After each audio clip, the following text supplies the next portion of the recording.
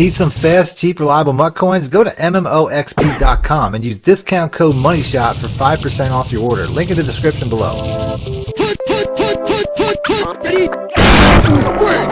Welcome back, YouTubers and Madden fans. This is Madden Moneyshot, sniffing up the Mad Cheese as always. Got some plays for you out of the Saints playbook. I haven't put out any plays from the Saints, my favorite playbook in the game, uh, pretty much every year. I haven't put out nothing uh, for them this year. So I'm going to give you guys a scheme out of the, uh, the single back wing stack.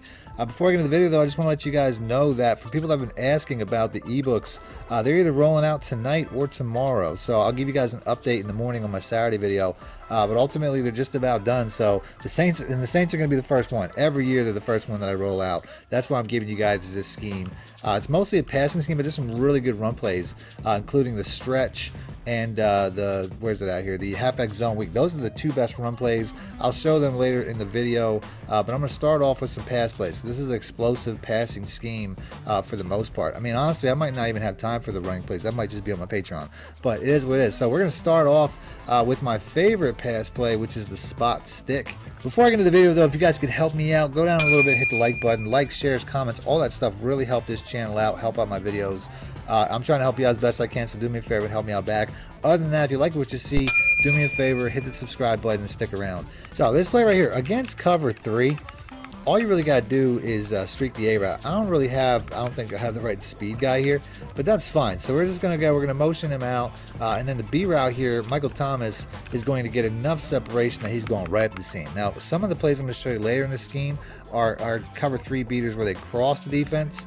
Now you have to be, you can't be like short side. You have to run this more to the open side. You don't have to be like all the way over, but you have to be somewhat to the right of the center of the field for this to work like this. It's just the way that the uh, the game is programmed. So we're going to do this two different ways. We're also going to have the ability to motion out uh, Cook here. I'm only doing that because pre-snap it, mo it, moves that safety. That's all I really care about is him being out of the middle of the field because he's the one that's really going to be the biggest chance of, being, of giving this play a problem. So you can see right there, the cornerback bites one more time. I'm going to go to the replay just to show you guys. I got to accentuate this because I put out a play earlier in the year and people weren't realizing that you really have to wait for this cornerback here who he will he'll drop back. You see right here, he's he's running back. If you throw it here, it's a pick city. But if you wait for him to turn off and take try to take away this outside route, you can see here he's like doing like an S. he's doing like an S in coverage. Then you can see he's gone. I actually probably should have waited a little bit longer because he'll he'll get all the way out here. He almost had time to recover. Like if he's fast enough, you can see there's a little bit of a, of a chance for recovery. But for the most part, you just have to wait till he turns and then bullet and pass lead away, and you're hitting home run touchdowns really easily in this formation. So I'll go ahead and I'm going to run a second version out of this as well. This is something you could do against pretty much any one of these, but I'm going to run against Tampa 2. This is also a very good Tampa 2 play. All you're going to do, exact same setup, all you're going to do is uh, drag the A route this time. Well, I'm trying to drag it, it's not working. So, what am I not doing here? So yeah, the game was just gl like glitching out. So basically, I just I just dragged the A button there, got the RB route in a streak, blocked the running back pretty much every time. And this is going to be a big play against cover two now, uh, just as long as we. I mean, we can one play this as well, but this is going to be a scenario where you're definitely want to run this to the open side of the field. This is something where I could easily run out of space um, because of the. Uh, I mean, you can the, the tight ends you can really streak or drag whichever one you want. It really doesn't matter. I'm choosing A because he gets across the field faster, and he's going to pull that corner cornerback down. Now this is not even a cover two. This is a cover three. You can see it has the exact same effect. So you could really, if you're not reading the coverage properly, you could really run it this way the whole time. So you could, like I said, you could run it like this every time um, and just you know basically maximize this look. I mean, it, you can see as long as you're running it to the open side of the field, you're going to have success either way. The X route that's beating this cover two is also going to beat uh, cover four. So that's something to keep in mind. Cover four cornerbacks don't typically cover out this far, as you can see right there. We get an easy one-play touchdown. So cover three, cover four, or cover three, cover two. You got one-play touchdown. You just have to pick the right route. Against cover three, it's going to be the B route. Against cover two, it's going to be the X route.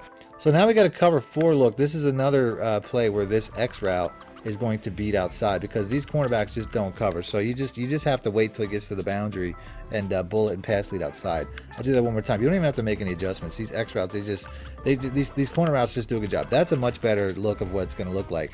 Ozzy doesn't catch it because I got a stupid animation, uh, which you know that's typical Madden. So here we go one more time. Like I said, don't no adjustments really needed. Like I said, just need a little bit, uh, little bit of a bullet in the pass lead, and we're gonna get that outside of cover four. So that's definitely my favorite play. I'll show you guys another pass play here, another explosive uh, one-play touchdown out of this formation. Then I'll show the run plays. That's probably going to be the end of the video. Uh, the PA fork. This is something that I used to use as a man cover beater, uh, although now it's really more of a cover three, cover four beater. So against cover four, all you have to do is motion this guy out here. Everything else is going to work to your advantage, and you're going to have a really big play. Now, the only thing that I really should have changed uh, other than, I mean, the, the pass is going to be very important. You have to you have to basically bullet pass lead away from this free safety. I'll go to the replay to watch that again too. You can block the running back too. That's not something that's really um, critical to the play.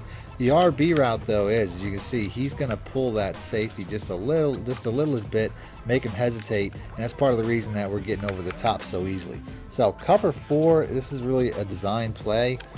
This is also a good cover three one play touchdown, but obviously the first play I showed you it's a little bit faster because this is a play where the where the guy has to cross the center of the field. Um, so I don't find it's necessarily best. You also have an extra blitzer typically when, when you have covered three plays uh, because that's just the way the cover threes are. But uh, once again, if you can buy that time, you're just waiting for him to cross the center of the field once again. So if you come out, you're expecting to cover four, he's in a cover three, it'll work. But the first play is going to be much better because how much faster it is. So the rest of these passing plays will be on my Patreon or on my community tab uh, from the join now button here.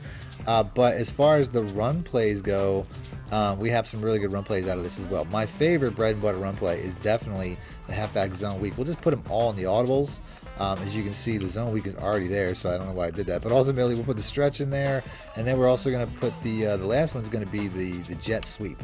So for my money, the uh, the halfback zone weak is probably the best of the of the bread and butter plays that I would run the most in game. I, I hit him, hit my opponent with these nine times out of ten. Uh, the other plays are really when I'm trying to look for a big play, trying to look for a home run play. Uh, but ultimately, I'm hitting this uh, hitting this zone weak over and over. It's very consistent. Uh, you can see it creates a uh, creates a lane either right there. Or a lot of times you just have to run it outside to the left behind the receivers and you're going to have a lot of success. Now, the other plays, like I said, they're a little bit bigger. Um, if you have like the, the stretch here, if you have a uh, a zone play, motioning over one of these tight ends to give yourself a blocking advantage is going to be key. Uh, if it's a man play, uh, you don't want to do that. If it's a man play, there won't be a cornerback on the right side, so you typically just want to just leave it as is uh, and, and just go to the to the open side of the field. As I actually ran out of running room there. Uh, but ultimately, like I said, here we have what looks like maybe a cover three. If it's a cover three, hit him with that stretch. Uh, if I motion this guy out, if it is a cover three, he'll back off, which is perfect. So now I have a huge blocking advantage to that to that side because I got a tight end blocking a cornerback. Although he really didn't do a very good job, he just kind of like hit him and they, he didn't hold it at all. But you can see there's advantages to be had there. This looks like it might be a cover three again. Let's go and do that one more time. Uh, see, like I said, the cover three cornerback backs off which gives me even more space to this side. Um, there, I mean, I probably shorted that, but you see, I mean, there was a lane. So very consistent run plays. Those are two of the more consistent right there, uh, and they're very, uh, very consistent. You can run that all game, that combination of plays. I also like to hit the jet sweep. As long as it's not a cover two, the jet sweep is typically going to have uh, some good success. And right there, we got a great block. I don't. Where was that blocking? Where was that blocking previously from Jared Cook? he made a great play there. He blocked two guys there. So like I said, I like to throw that in but it's definitely not something. I mean, I just like to throw that in because honestly, jet sweeps are fun to run and they keep your opponent guessing. But ultimately, nine times out of ten, I'm hitting them with this inside zone. Has actually did a pretty pretty bad job uh, on the last run. But I'm gonna end the video there uh, because, like I said, this is this is I'm gonna save the rest of the plays uh, for my Patreon and for my join section. So that's it. That's the vid. Five play scheme, running and passing. In my opinion, one of the bread and butters of my offense. Uh, typically, whatever you know, whatever game I'm playing. Uh, very, very successful. So if you guys want to see more stuff out of the Saints, let me know in the comments section with the like button. Other than that, thanks for watching Madden Moneyshot Out. Need more help or just want to show your support? Then head over to my Patreon and join my team, where you can get exclusive content like ebooks and bonus plays, as well as early access to my vids and more. Link in the description below.